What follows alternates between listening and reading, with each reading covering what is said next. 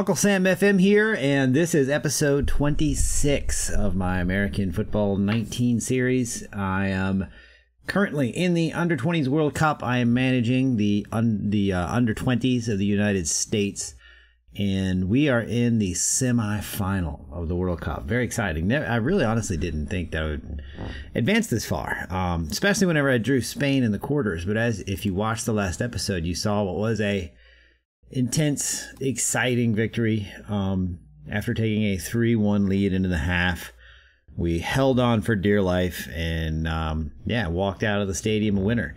And so now, now we are playing against England, the England under 20s. I'm sure they have a great team. I was looking, as you look at their squad, and I've got it set where you can see their clubs. Um, this is obviously These these come from some of the best clubs, not only in England but in the world. You've got Manchester United uh, represented, um, obviously Manchester City, Newcastle, Arsenal, Liverpool. Um, yeah, so these are. This is not. I'm anticipating a very very challenging match. Um, I, I, kind of you can't see again. There's no scouting. I can't see any attributes for any of the players.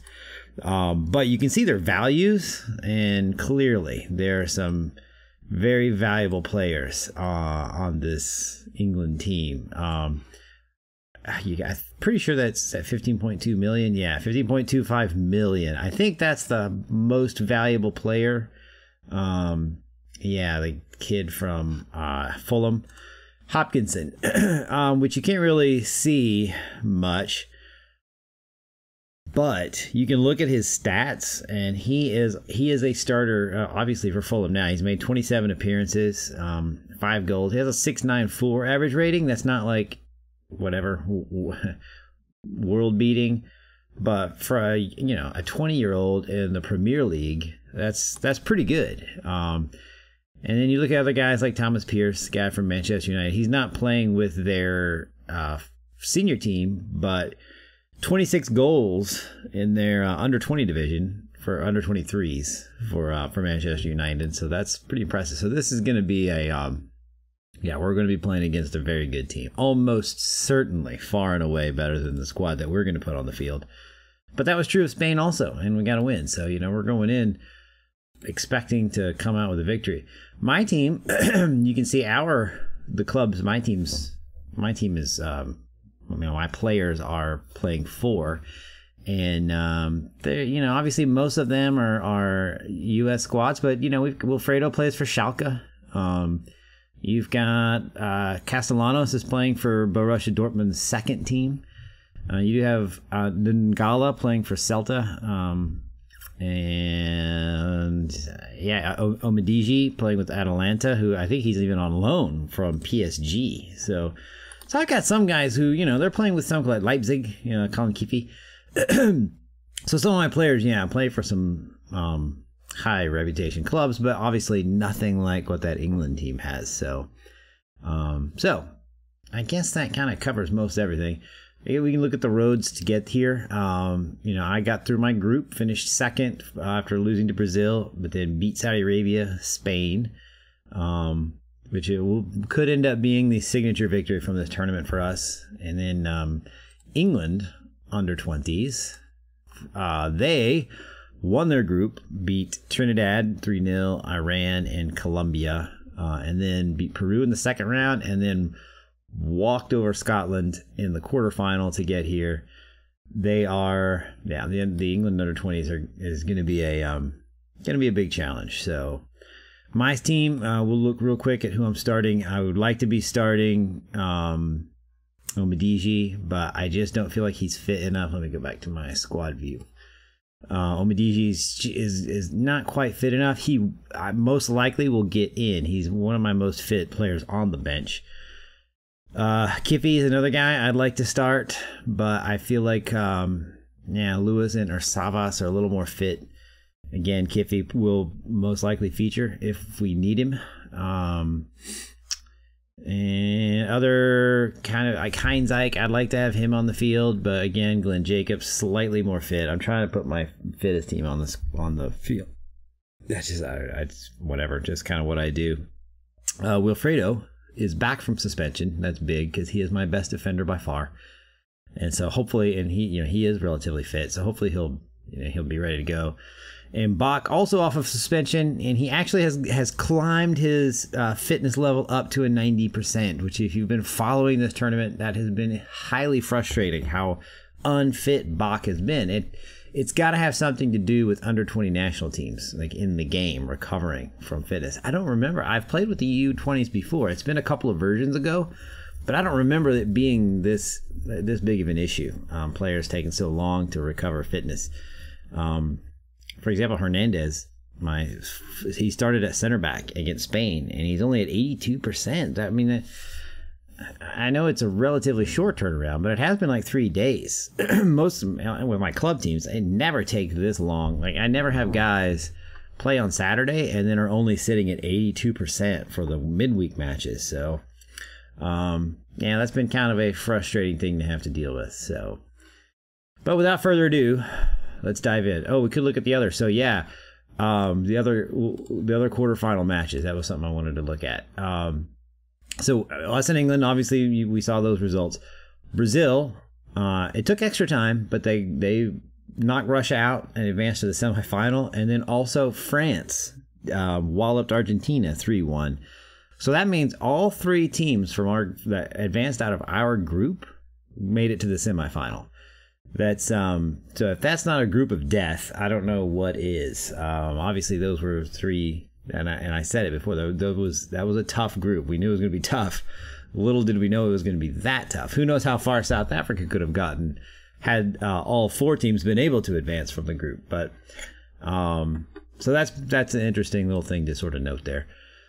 Uh, looks like we'll be wearing our thirds, our red, and England wearing the whites, and we'll just dive right in.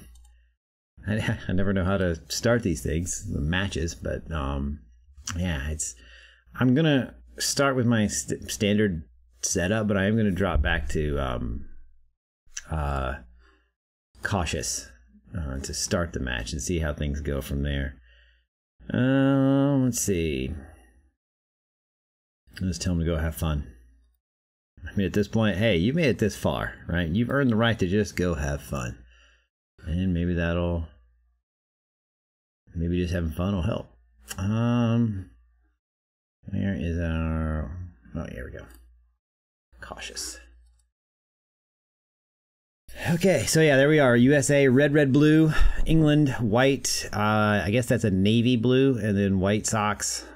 And we are off. Drops back to Harris. And highlight over. Not as good a first highlight as our Spain match. That was uh, we score on the first highlight. That's pretty rare for me. And England does look like they are going to be possessing here, but we do push it all the way back to the goalkeeper. And he sends it. Ooh, we get moving the ball. Lewis back to Wilfredo, who sends it long. Wilfredo, but I think he was offside.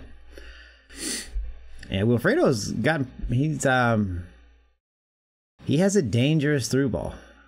I don't have him set as a ball playing defender, but he kind of plays that way anyway. Uh, I'm not looking at his player traits. Maybe that's in there. Oh, England with possession out in a dangerous spot. Ooh, headed to the keeper, Reese. Uh, I think I'm going to go balanced. Bring it back. Push it back up a little bit.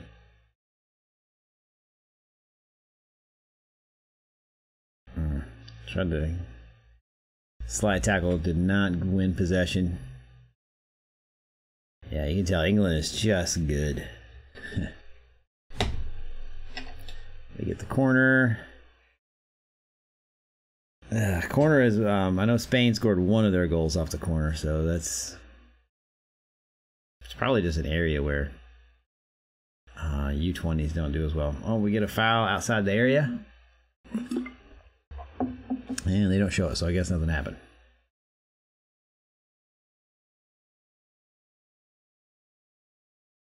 Ooh, another header to the keeper. Goes into Degala, who crosses it in, but we don't have anybody there for the finish. Savas to Jacobs, who crosses, and we get a corner. I don't know what Ngala was trying to do there.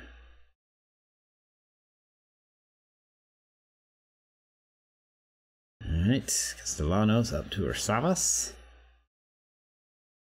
Lays it to Jacobs, whose cross is blocked out for a corner, and here we go.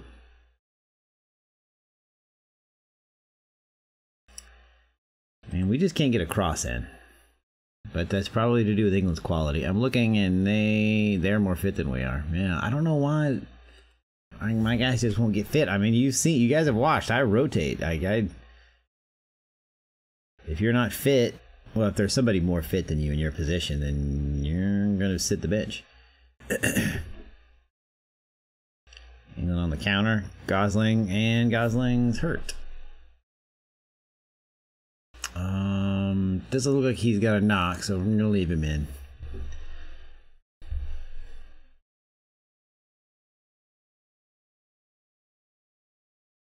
And that cross is blocked. I mean, we're defending pretty well. We just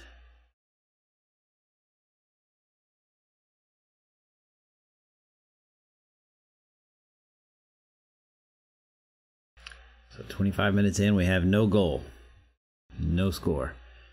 Savas. Dengala's shot is wide. Keeper apparently wasn't even, was not afraid of that shot at all.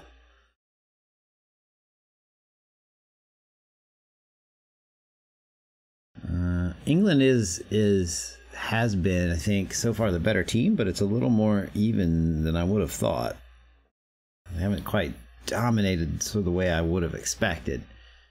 Ooh, that was a bad, yeah, that was bad footwork by our defender there. But I think Jacobs won the corner. Well, gave them a corner rather than giving up the goal. Ooh, header into the cane of the keeper. Looks like we've got a nice uh, fan presence behind our goalkeeper there. All right, so we're a third of the way through. No goals yet. Mm, England trying to buy one or win one here. We get a corner.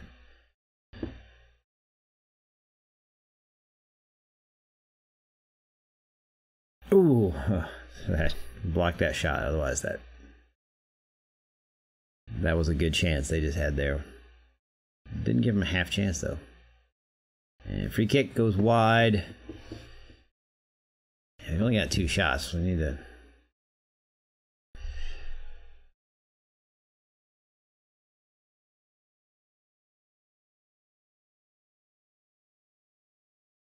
Nice slide tackle. Lewis puts it up to nobody.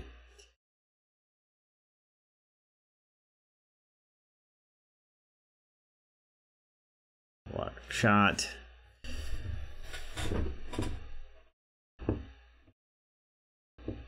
All right, looks like we're going to go into the half scoreless.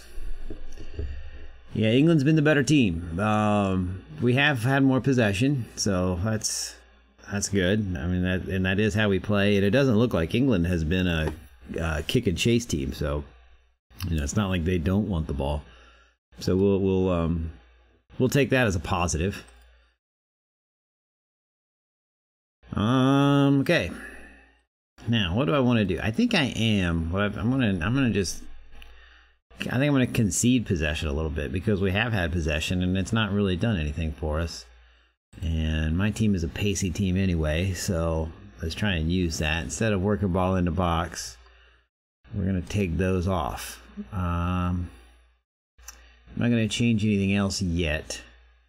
Because I feel like I feel like defensively, we've prevented them from having uh, the you know whatever clear cut chances. So you know, defensively, we've done the job. Um, it's we're just we're not creating anything. So let's let's give them a little more freedom and see if they can um, make something happen there on the in attack.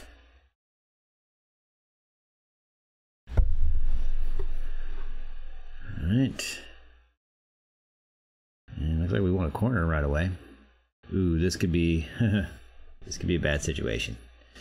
All right, well, Yeah, see again, defensively, we you know we did the job right there. Like that was a potentially, and that that's even and we I've said this before in the other videos from this World Cup. Our back four is not that great. So the fact that we have sort of done the job in the back is is encouraging. All right, so we survived the first five minutes of the half without giving up a goal. Oh, the free kick. Ooh. And they buy a corner. Get it out, fellas. And another corner. Giving up too many corners.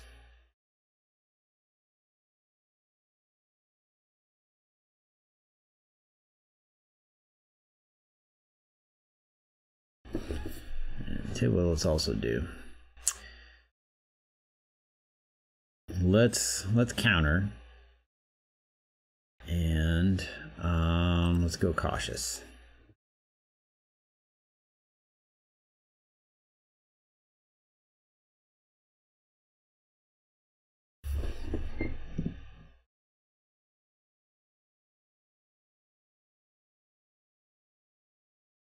Oh, that's yeah, that's a bad. All right, so we gotta. All right, so England has scored um, on the throw. Gasson makes an act player. Um, Bahus makes a nice run, and they're up 1 0. And let's be honest, it's a deserved uh, 1 0. Santos trying to help build an attack to get the equalizer. World Cup dreams on the line here. Bach puts it in, headed over. We get the corner.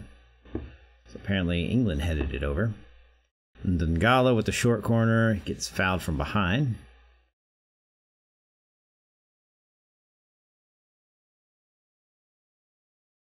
Bach back to Jacobs to Gosling. Jacobs. Ah. Uh, that was a bad giveaway right there. Put us in a bad spot. Uh, Reese picks out the corner kick out the air. I gotta start thinking about who I want to bring in. Right, Savas is starting to fade a little bit, and he's not really done very much. So let's go ahead. I mean, we know it's this is it, it's do or die. So let's not wait around. Um, what can I do? Okay. Let's bring in Omidiji for Savas. Put him at the striker. Put put Dungala on the right wing and Lewis back on the left. and you know what? Let's um I don't want to take out Dungala because I'm pretty sure. Uh, yeah, that 15 finishing is too high. So I'm gonna I'm gonna bring in Kiffy. He's been playing out of position a little bit, but these are probably my three best attacking players up front now. So. And I'm gonna have to go positive.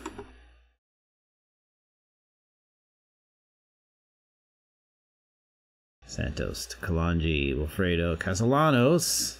Trying to get a through ball, I guess, there. Either that or it was just a shot. Right now, I know Bach is kind of fading a little bit, but I don't, there's not really any body that I can just. Bach is a good player. So I'm going to leave that for now, but I am going to uh, change a couple things. Um, and we was that as high as we can go. So let's prevent. Let's go maximum, extremely urgent.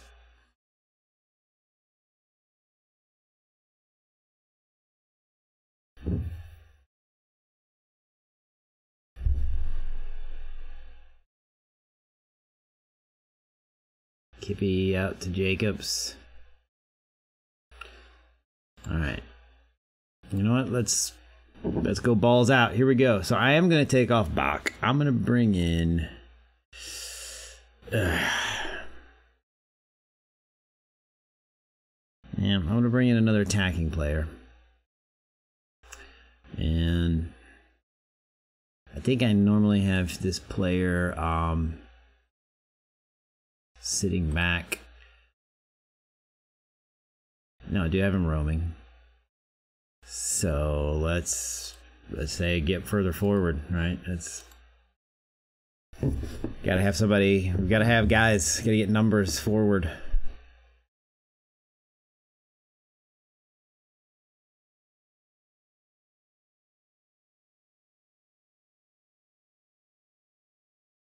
We're gonna make something happen here in the last breath. We want a corner. And Dangala. Oh! Oh! They just gave you. Oh, I, we gotta go. We gotta watch that again. I can't. Oh, they just they gave us the equalizer. Watch. They passed the ball to our striker, who is standing in an offside position, one on one with the keeper, has a free shot on goal. Let's uh, let's watch Dangala here to Gasson, who passes it. I'm pretty sure it's Gasson that does it. Passes it right here to Omidiji. Yeah, it's like here you go, Omidiji. This is like, oh my goodness, Omidiji. This is a chance in the last 30 seconds of the match to tie England to to probably go into extra time, and he puts it off the post. but you know what? That's his his finishing rating is low, so I can't be, you know, that's that is what it is. So last corner probably going to come to nothing. Yeah. Um yeah, so England wins. They're off to the final. We'll go to the third place match, which I hate the third place match. But, you know, that's that is that's how it goes. Omidiji somehow only got a half chance, I guess, for that shot. That should have been a clear cut chance easily. Uh, so you know, it's I'm disappointed. Uh, I can't feel hard done though because England was the better team. Now we did. I mean, you look at the stats though. I'm you know I'm happy with the possession. We had 64% possession against was probably the best collection, one of the best collections of under 20 players in the world. Um, and, you know, our passing in the back was not great, but I took that off our. You know, that was that was always going to be a challenge. Um, yeah. So you know disappointed, but at the same time, I, I feel you know pretty good about how well we played. Um, eh, yeah, unlucky boys. Hamadiji. Uh, I, I, I was willing to accept the result and not feel hard, you know, not be crushed by it until Omidiji had that chance. That I mean, it's almost like they Gasson from England, gift wrapped. Here you go. Here's the equalizer. Um, maybe I guess Gasson wanted to keep playing, right? He wasn't done. He was having fun. He didn't want the match to end, so he was like, "Hey, let's let's let let me add about thirty minutes." Uh, here you go, Medici, and he just couldn't put it in the goal. So that's tough. Um, well, we'll go ahead and um, we'll advance to see who we get in the third place match here either France or Brazil, which will be our second match against either of those teams. Um, all right, so we'll be playing France. Um, Brazil won, so you have a Brazil England final. That's doesn't get much better than that, right? That's how that's you know two of the best teams, two of the best footballing countries in the world, and then France to play the United States in the third place match. So um, so we'll see how that goes tough result, tough loss, but you know England was a better team. Um, I I'm committed to at least doing one more cycle with the U20. So hey, maybe in 2025 we'll we'll get this thing done. Um, I've already kind of had a little perusal around the uh, guys in the under 17, um, at the under 17 levels. There's some hope there. Um, so hopefully I'll get a better back line than what I had this time. Um, but this is Uncle Sam FM signing off. I will be back if you want to watch the useless, pointless third place match where I will be playing against France. Um, little disappointment, but you know, hey, and uh, encouraging result. So we'll see you next time.